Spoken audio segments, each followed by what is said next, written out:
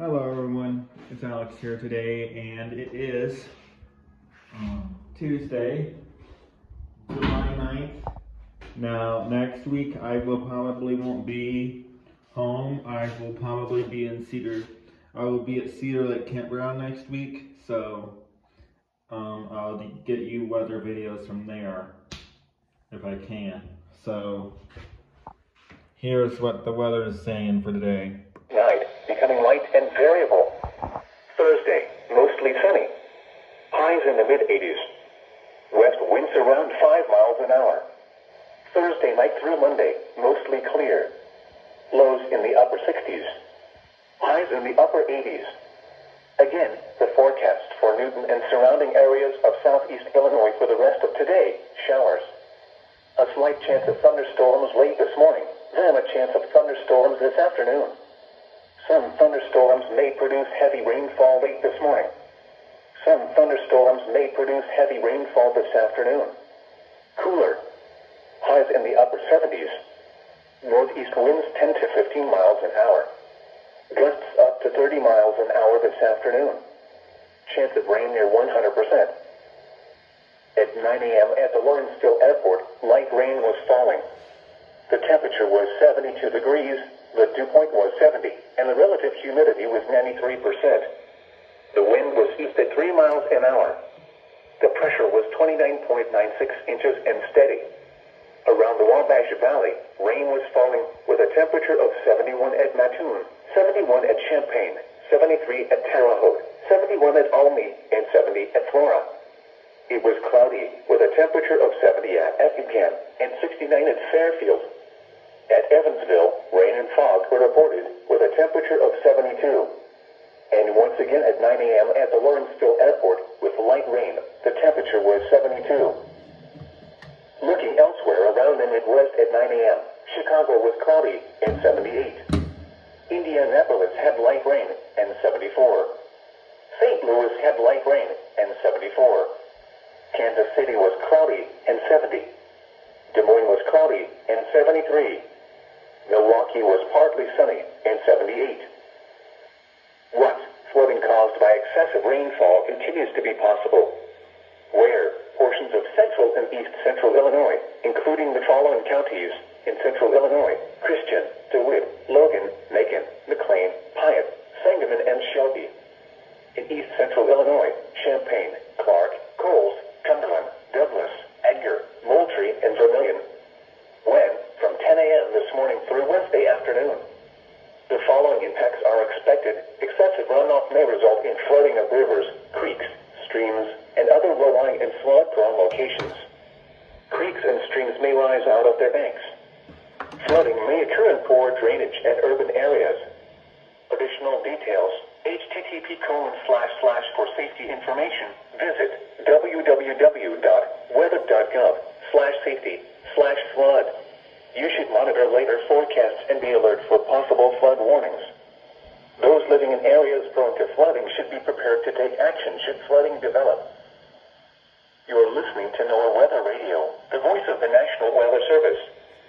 This is station KXI 48 in Newton, frequency of 162.45 megahertz. This station is programmed from NOAA's National Weather Service Office in Lincoln, Illinois, and transmits from the Clear Talk Communications Tower 6 miles south-southwest of Newton. The station serves the following counties in southeast Illinois.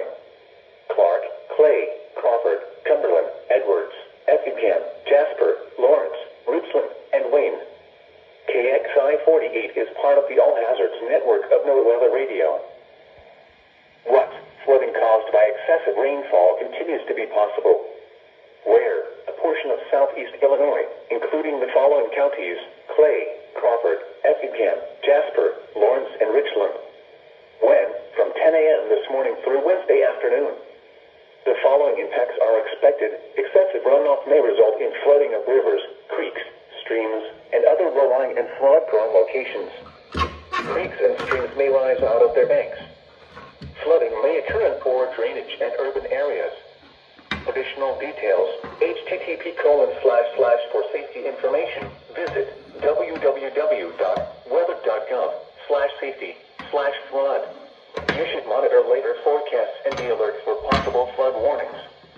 Those living in areas prone to flooding should be prepared to take action should flooding develop. What? Flash flooding caused by excessive rainfall continues to be possible. Where?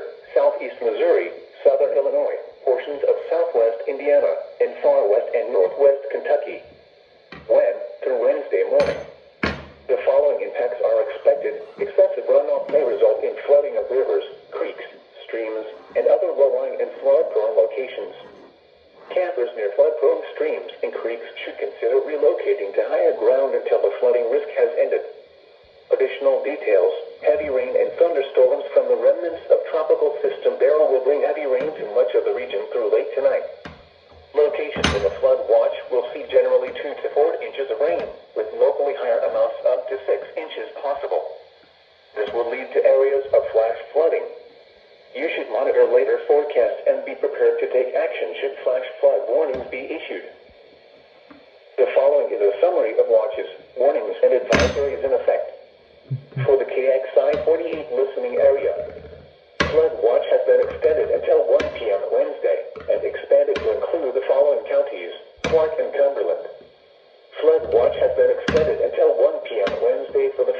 Counties,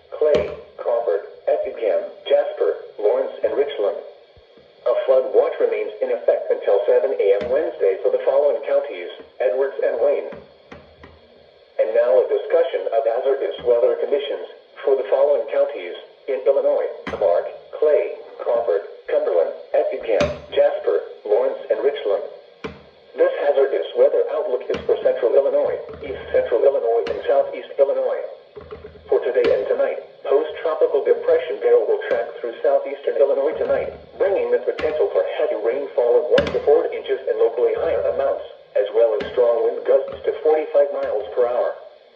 Flooding is possible due to the combination of heavy rainfall with moist soils from recent rains.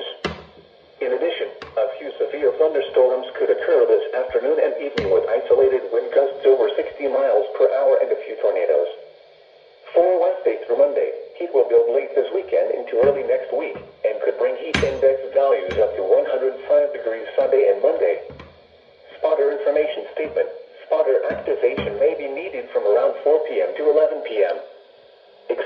storm motion is toward the northeast around 40 miles per hour. The time is currently 9:18 a.m. Central Daylight Time. Alright guys, thank you for watching.